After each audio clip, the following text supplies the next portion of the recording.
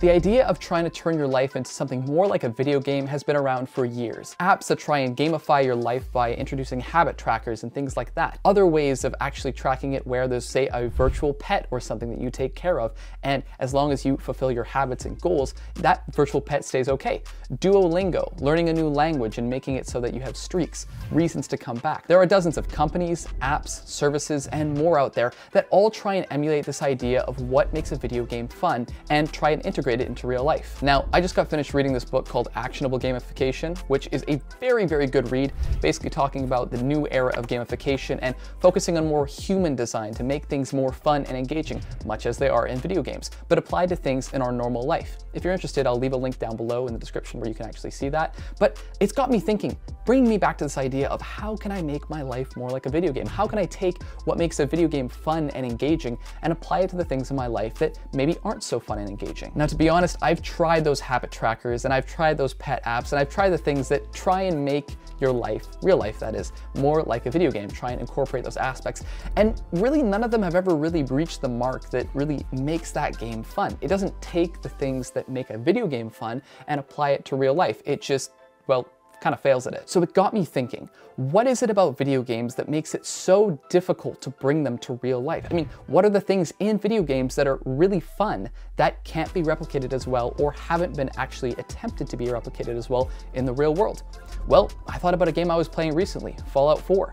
And I thought to myself, wow, that has a quest log. You've got your main quests, the main parts of the story that you're trying to actually achieve that'll get you further, but then you also have your side quests. And I thought, well, with the technology we have today, why can't you incorporate something like this, like a quest log, but in real life? Taking something as simple as your life and generating main quest logs, the important things and tasks that you should try and do, and then little side quests that you may not have thought about before to try and make it more gamified. And so that's what I'm gonna try and build. So to truly push the limits of what it actually means to bring a quest log into real life, we have to break down what it would actually look like. Well, the main quest log would be the most important things that I know I have to actually achieve. These would be things that are set out by me in the beginning. But then also we would have side quests in there, things that are spontaneous and doable that I want to do, but I wouldn't have thought about otherwise. And it feels more fun to go do because it's not as planned and, you know, thought out. It's just more spontaneous. So I want to try and build something exactly like this that makes not just the mundane tasks of my life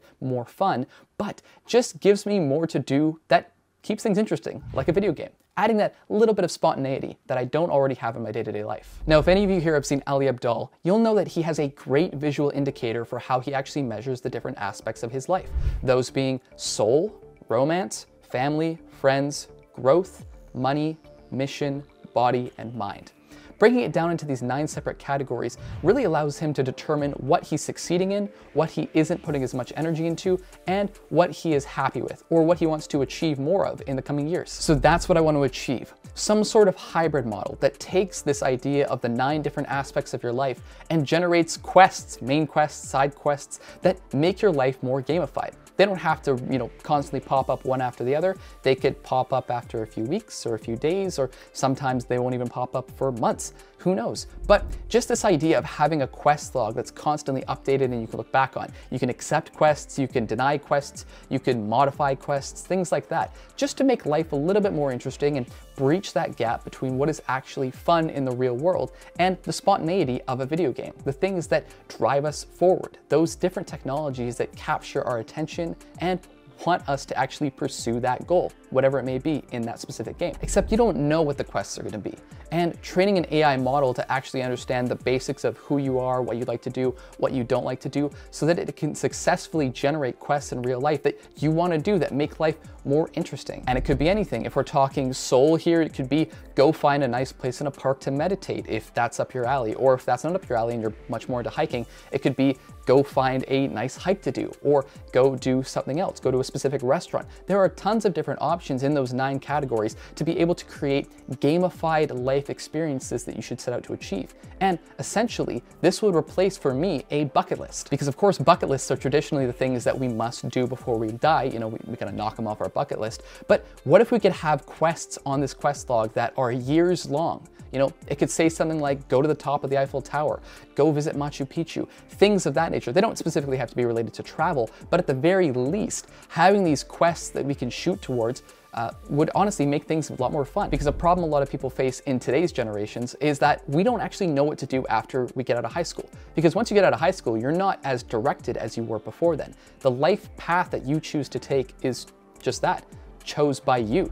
So if you don't actually take the time to figure out what that is and, and shoot towards, sometimes you just it may end up floating. You may end up staying stagnant. And being stagnant is the first way you're gonna be unhappy because if you don't feel like you're moving forward, you're just gonna feel like you're in the same spot forever. And that's never a good thing. We like growth. So having some sort of external tool that helps us, doesn't replace that, but it actually allows us to validate those feelings ourselves, is what's gonna make this more gamified. And because we're basing this off of Ali Abdaal's Wheel of Life, we're gonna be covering all different aspects of us and the different aspects of our lives. And because we're basing this on Ali Abdaal's Wheel of Life, it makes it easy to cover for every person. I mean, of course, you've got things like spirit in there, and if you're not very spiritual, well, then obviously you won't have as many quests on there. But if you are very spiritual, well, you could have a ton more quests on there. It's all broken down into nine separate categories, and you actually get to pursue what you like to do the most. That's what makes it gamified. That's what makes it fun.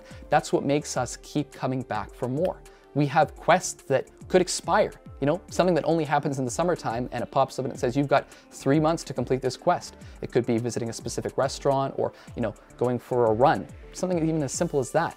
But having the idea of having these timed quests just really brings a level of new interest to my life that I feel like would be really fun to pursue, especially going into the summertime. So now that the vision is laid out, let's lay down the exact idea of how this is gonna work. So now that we've got the foundations laid out, let's walk through exactly how I'm gonna go through this process. Because again, it's a fun project. There's no stakes in here. It could take me a month to build, it could take me six months to build. Who cares? It's all a process of having fun. But essentially, here are the features that I actually want to lay out.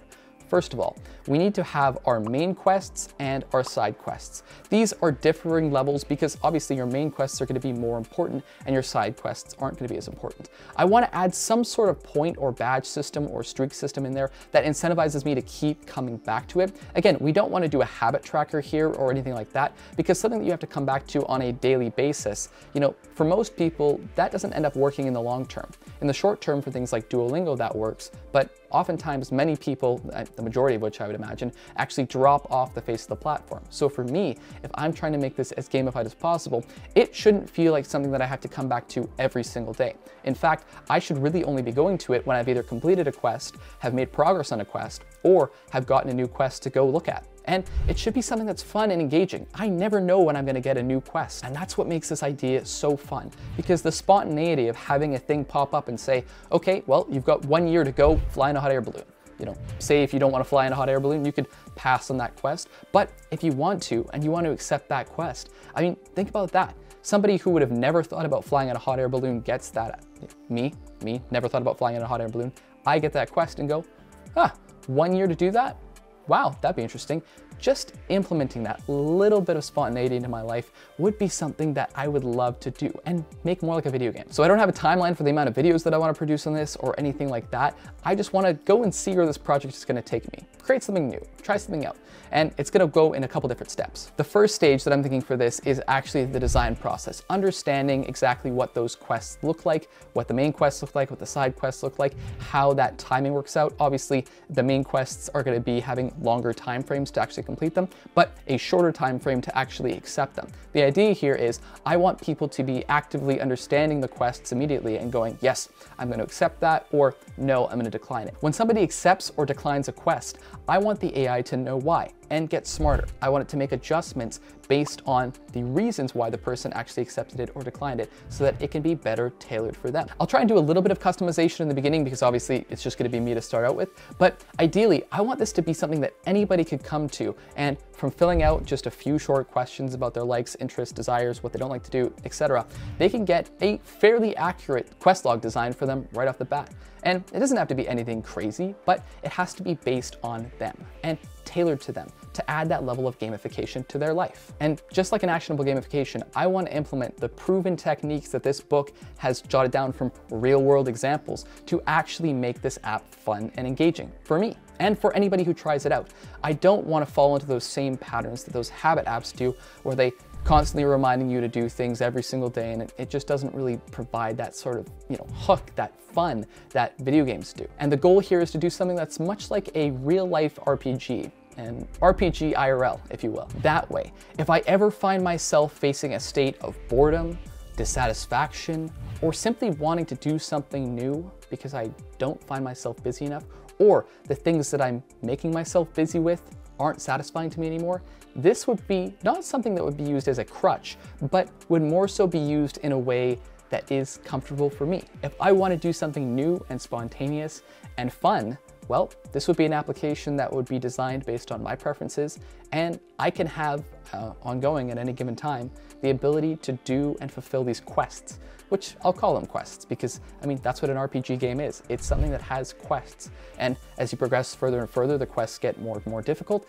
but that's what makes it so much more fun because the more you fulfill those quests, much as you would in a video game, the more satisfaction that you're gonna get from them. And typically the further on in the game you go, the bigger the rewards are gonna be as well. At the end of the day here, what I'm trying to create is the cure for boredom in any aspect of our lives.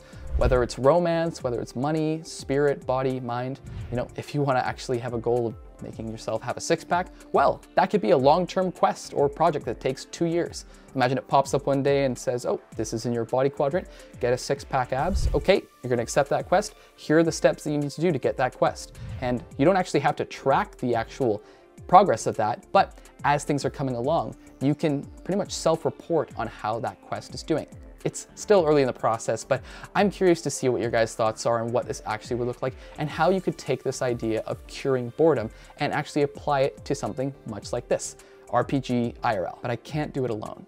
So I'm opening it up to the community, making this a transparent project. Again, we're just doing it for fun.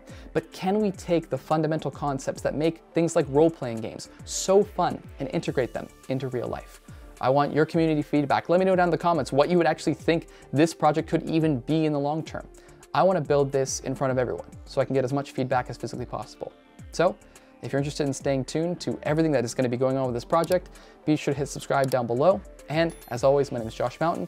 I look forward to seeing you in the next one.